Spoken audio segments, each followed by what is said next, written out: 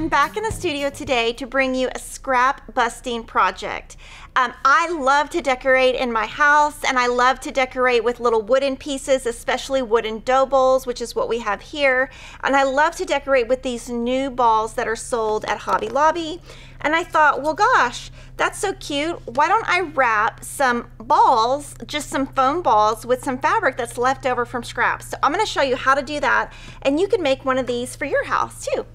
For your pins, you're gonna use really short pins that don't have a ball on the top, so just a flat pin. So we'll link to those in the description box.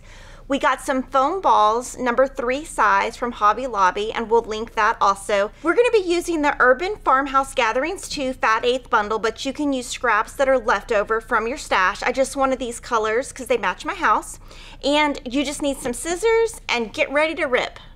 So you can see how beautiful this Lisa Bongean fabric is. It's totally home decor. These are the colors I'm gonna go with and I'm gonna show you how to make one ball.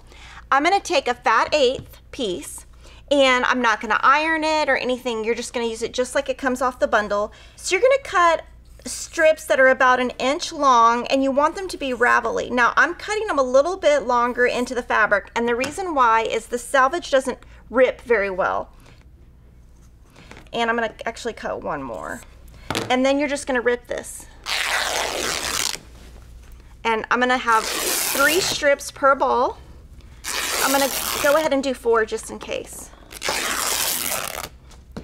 So now we have all of our fabric ripped and we're gonna start creating our balls and any of this like little leftover fabric, just pull it off and that'll be good.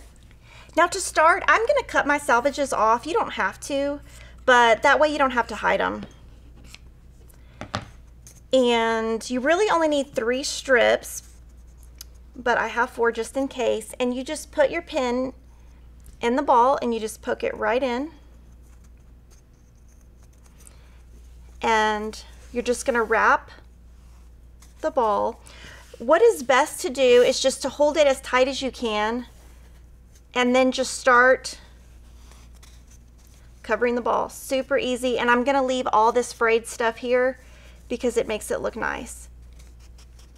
And you'll just stop, put a little pin in. Now you could use hot glue if you didn't want to buy the pins.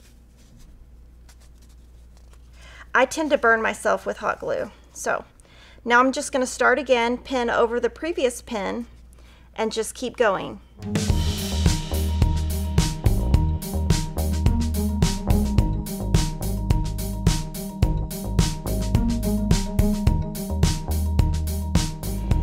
Hobby Lobby, they actually sell this in several sizes. So you could do different fabrics on different size balls and you could um, have a mix and match in your little dough bowl.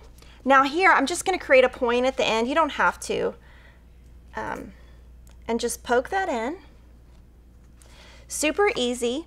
And the more ravelly, the better. And you just add it to your dough bowl and ta-da, you're done. Wasn't this a fun, quick, and easy tutorial to bust up your stash? I can't wait to see all of your dough. Share them with me on social media, and I'll see you next time.